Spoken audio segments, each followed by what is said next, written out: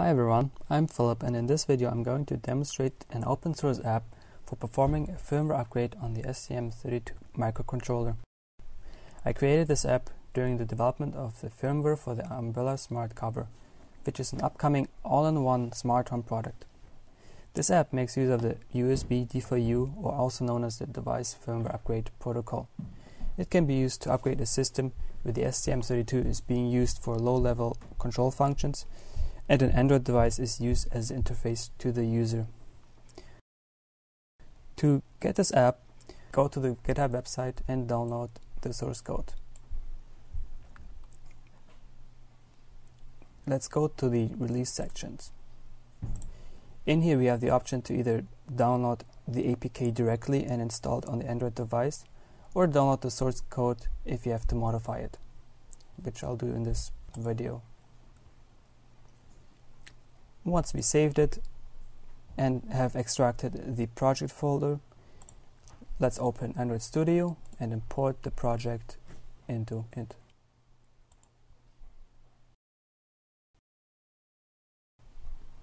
Once we found it and imported it, we're ready to go. In here, basically just make sure that these two numbers match your target system and the rest should be all fine. Now we're ready to build.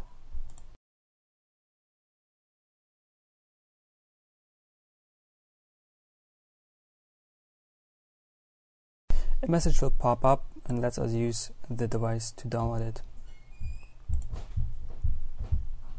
Next, we need a project to download to the STM device. To do this, I created a simple Blink program that will tell us if the device is programmed. I compile the project and create a hex file format. Next, we need a we need the DFU file manager from ST to convert the hex file format into DFU file. I'm using version 3.03 since that is the, the latest version that supports hex files. I give in the proper information for the target and select the right hex file.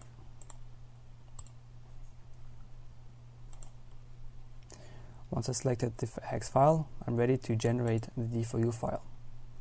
I would give the, I would give it this name and save it, which I have already done. Next, we take the file, copy it, and paste it into our device of our internal storage into the download folder which is already here.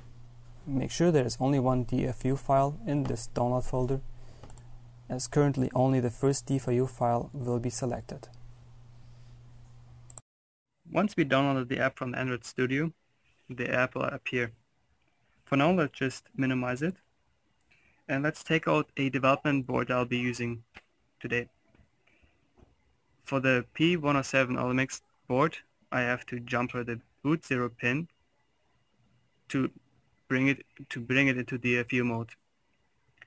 I have a USB cable attached with the OTG on the other side, and I'll be connecting that to the Android. While I do it, while I do that, I hold the reset button and connect it to the tablet. I open the app again and I get a permission a dialog that asks me to give permission to access the USB device. Press with OK. And now I can see my STM device in DFU mode displayed in the text box.